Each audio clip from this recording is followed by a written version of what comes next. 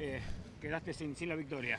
Bueno, eh, por lo menos en pista nos sacamos gusto de ganar. Eh, nada, lo dije recién en la tele, eh, estas cosas no me ponen para nada contento. Eh, lo que sí puedo decir que se me hace muy difícil con un auto superior correr a un tipo que viene tapando y, y frenando en momentos que no te lo esperás. Eh, lo esperé, lo esperé, lo esperé, le hice una gran maniobra, que se hizo a dos, me respetó.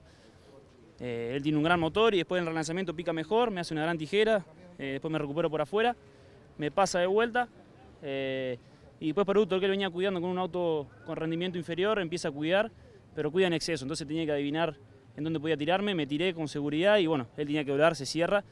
Lo engancho con la punta, pero bueno, eh, son maniobras de carrera que lo perjudiqué. Más allá de esto quiero recalcar que, que esté bien porque vi el auto roto.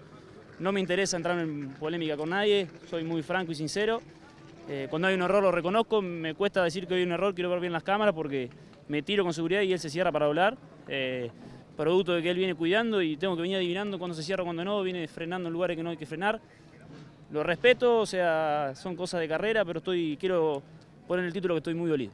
Gracias.